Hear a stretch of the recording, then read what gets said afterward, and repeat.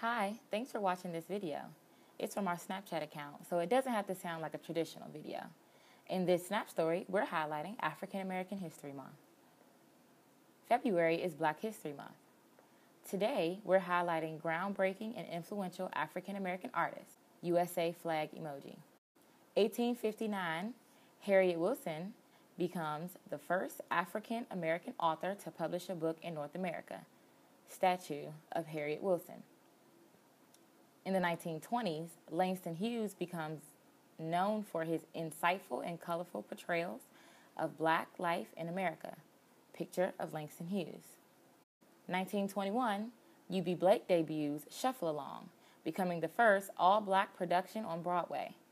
Autographed picture of Eubie Blake. 1939, opera and concert singer Marian Anderson sings at the steps of the Lincoln Memorial on Easter Sunday.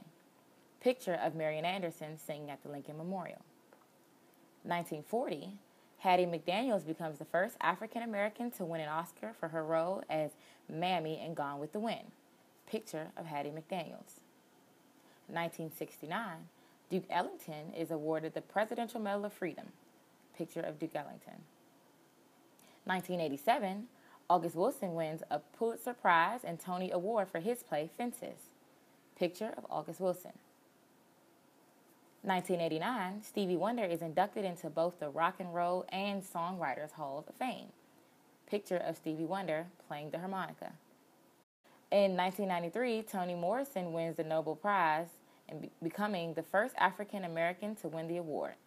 Picture of Toni Morrison. 2004, Prince is inducted into the Rock and Roll Hall of Fame. Rubber Ducky of Prince. We really like Prince, like a lot rubber ducky of Prince with the other presidential rubber duckies.